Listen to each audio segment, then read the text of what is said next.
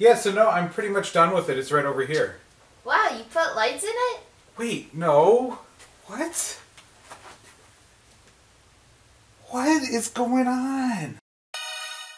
Hey there, thanks for stopping by. I'm Bret. Welcome to On Hand Art. When I was in my 20s, I made this puzzle box. And not to sound too melodramatic, but it was very much a metaphor for how I saw life at the time. A relatively simple puzzle on the outside with a deceptively complex puzzle on the inside.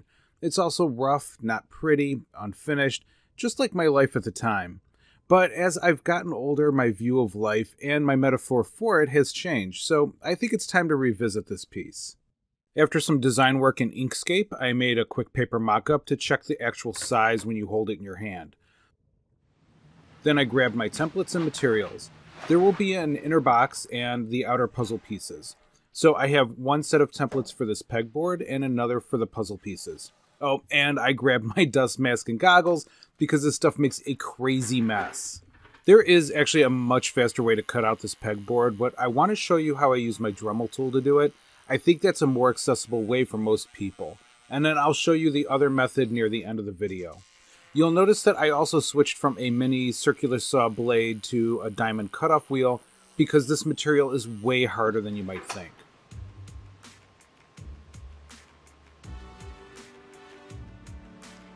Then to hold the panels together, I cut little blocks of basswood, and then I'm gluing them on with a nice helping of Mod Podge. To make my life easier, I actually broke this glue up into stages. And this will help me to make sure that the blocks are right up against the edge of the base, and that way there won't be any gaps between them and the side panels when I go to glue them on.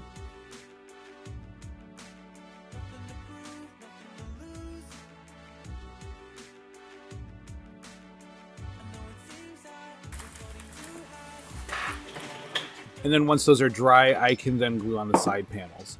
Again, I'm using a lot of glue and going back to fill in any of those little gaps as I put the sides on.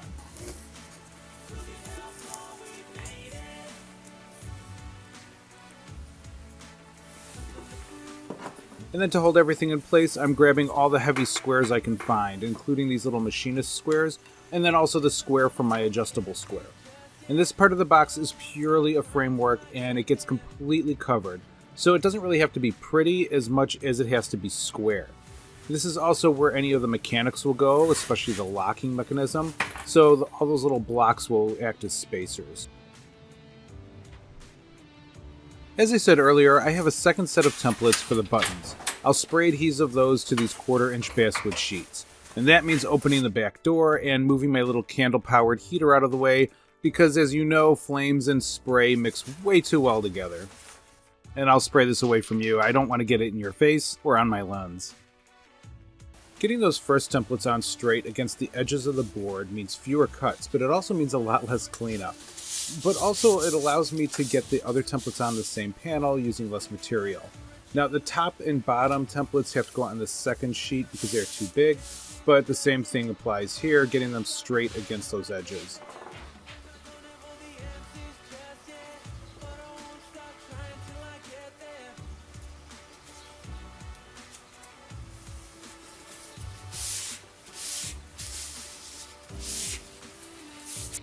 To cut out these side panels, I grabbed my dust mask and safety goggles and started with a fiberglass cutoff wheel. That didn't work very well at all, so I went back to my diamond cutoff wheel, which worked much better. But you can also use a knife or a coping saw. Now those options will probably be hard on your hands, and personally I've never gotten a straight cut with a coping saw, but you can try that. The trick to keeping your cuts straight is to take shallow passes. Now, it might take three or four passes, but you'll end up with nicer cuts. So it really pays to be patient. It's also going to put a lot less stress on your Dremel tool.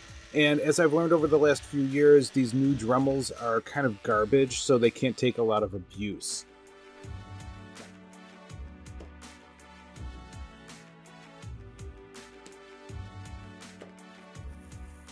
I quickly learned that simply cutting through the template with my Dremel resulted in torn and moving paper to try and manage. Instead, I etched the cut lines into the wood with a box cutter. And even though I kept these templates on to keep the pieces straight, I actually removed them before cutting.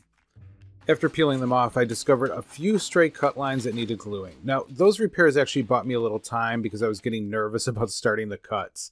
But with all of those cuts fixed and all my cut lines in place, I drilled the peg holes. Now, one thing I would have done differently would be to build up drill bit sizes. Going straight to this half inch drill bit like this caused a bunch of tear out that I had to fill in later. I tried to prevent that by drilling into a waste block and to drill almost all the way through and then come back from the backside, which helped a little bit, but not enough. Oh, and if you've ever wondered what to do with those foam brush handles, here's an idea for you. They're going to become the pegs, and I'll show you that later, but for now, that's one hole down, 10 to go. With all those holes drilled, I moved on to cutting the puzzle button pieces. Say that five times fast. This process almost took me 8 hours, uh, over about 3 days, and as I said earlier, there's a faster way to do this, but I'll show you that later. You also might have noticed that I switched my Dremel tools, and this is the one I've had since the early 90s. It's outlasted three other supposedly great new models, including the one I had earlier until it burned out. Now, it just doesn't have the speed that they say you're supposed to with cutoff wheels. Otherwise, it works great, so if you can find a used one, that might be the way to go for you. And if you're wondering how I kept track of all those pieces, here you go, painter's tape to the rescue.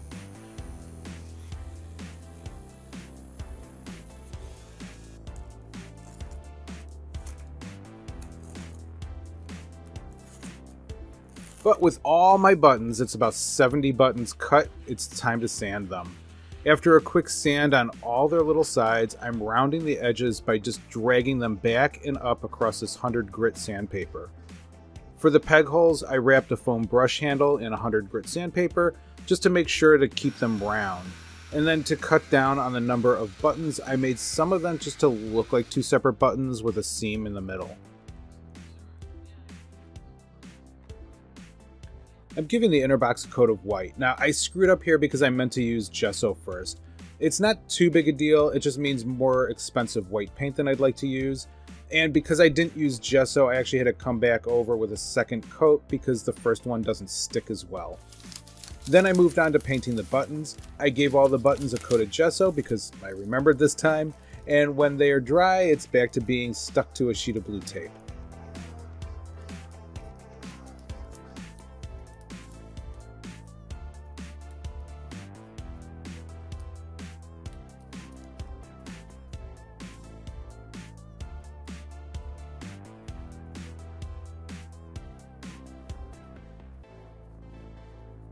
My original concept was to cover the box with a bunch of false but pressable buttons. I couldn't get those to work, so to stick to my original vision, I wanted the buttons to stand off the inner box just a little bit. To do that, I made standoffs with a bunch of popsicle sticks, which I glued up and then set under some weights to press them together. And then I cut off about 70 of those pieces with my diamond cutoff wheel, which is actually getting pretty dull by now. But those just get glued to the bottom of the buttons and then actually re-glued when some of those layers separated. Getting these first two buttons in the right place is critical to getting the rest of them spaced right and in the right places themselves. To get the overhang just right and to keep them square, I made a quick template from a few extra standoffs and a scrap of basswood. And most importantly, I'm practicing patience with this process, which I think is a bit of growth for myself. There are a lot of metaphors in these buttons, from the choices we're presented with every day to the dead ends we once thought of as choices. But the one that I first thought of was how we all see these possibilities around us, but most of them are not for us. And as much as we might envy other people's choices and opportunities, there's usually a different choice or opportunity waiting for us. But that's really only what I see. You're going to find your own interpretation.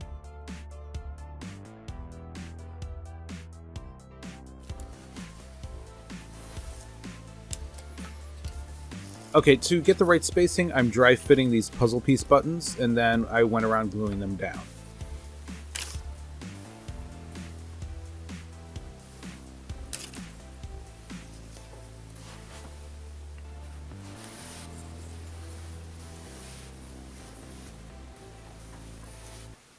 And like I showed you earlier, I'm making the little round buttons from the wooden handles of old foam brushes I've collected over the years. I'm cutting them with my trusty diamond cutoff wheel to pre-measured lengths, that way they'll stick just a little bit above the puzzle piece buttons. I only needed 11, but I'm going to cut a few extras so that I can choose the best ones. And then I sanded the tops round, painted them with some gesso, And then the final coat is a mix of crimson with literally a dot of black just kind of loosely mixed in. I want them to be bright while also having some depth and character of imperfection. So while the crimson is the main color and it really comes forward, you'll still get little streaks and swirls of the Mars black. While those are drying, I'm coating the box with a couple of coats of titanium white that I've mixed with a gloss gel medium. And then sticking with my vision, the box is shiny and bright, but it's not perfect. You get to see the brush strokes and the specks where the paint was just a little too heavy. In other words, there's beauty, but it's also that kind of layer of unavoidable imperfection and messiness that just kind of comes along with living.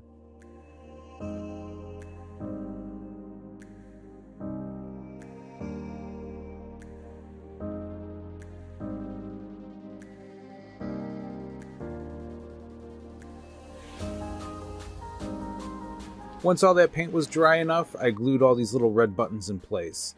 You know, I'd really be interested in hearing your interpretation of what these are for you. Because for me, they are all at once little bright spots in life, or red flags, the little things that are exciting, add interest, and are both happy and challenging.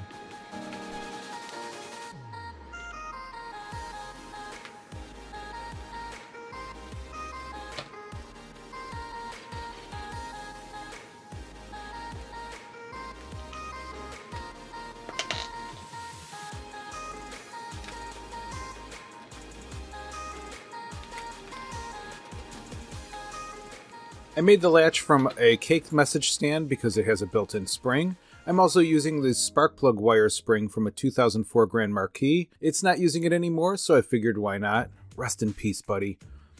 I just stapled a little bit of the spark plug cable spring to the button that I'll then glue to the rest of the latch. The latch is simply a bamboo skewer that I cut to length and carved a notch in the end with my Dremel tool. Then I bent the cake flag as the latch hook and screwed it to the wall of the box. And then I'm holding the skewer in place with a bit of copper wire so it doesn't slide down the cake flag when I press the button. And here's what it looks like under the button, and I'll stop the shaking so you can actually see that. Before I can finish the latch, I have to cover the inside of the lid with its final fluffy felt finish. And if you think that looks like too much Mod Podge, this is actually my second try, because the felt soaked up all the glue and fell off the first time. But once that's dry, I can then add the final piece of the latch, which is this, this little eye screw. The hinge four more eye screws with a metal rod I got from who knows where. It took a little effort to get that rod through the eye screws, but that just means it won't work its way out.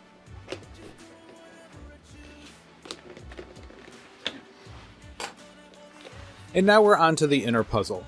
I'm making it from an inch thick basswood plaque, and that's because it was cheaper than the other inch or so thick options that I had.